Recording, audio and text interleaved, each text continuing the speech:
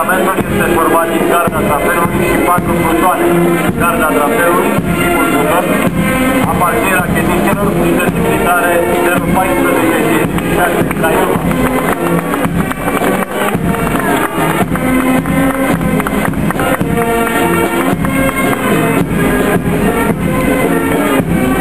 Urmează plutonul 2 din partea batalionului Instrucție, Comunicație și Informatică Brațe Puteți Craiova. schimbarea mobilă de tractat, ca și protecție din Craiova, depilează de asemenea transportori.